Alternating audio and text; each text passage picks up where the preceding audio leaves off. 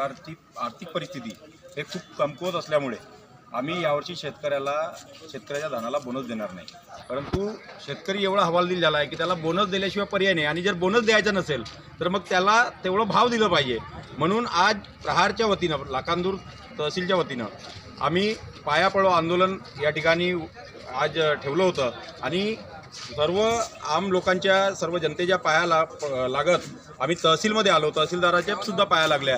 आणि सन्माननीय या राज्याचे मुख्यमंत्री उद्धवसाहेब ठाकरे यांना निवेदन पाठवलं तहसीलदाराच्या मार्फत की शेतकऱ्यांना कोणतीही परिस्थितीमध्ये आपल्याला बोनस देणं बंधनकारक आहे आणि आपल्याला द्यावंच लागेल ही मागणी आज आम्ही या ठिकाणी पायापळो आंदोलनाच्या माध्यमातून केली. महाराष्ट्र टाइम्सचं यूट्यूब चॅनल सबस्क्राईब करा आणि लेटेस्ट अपडेटसाठी बेल आयकॉनवर क्लिक करा.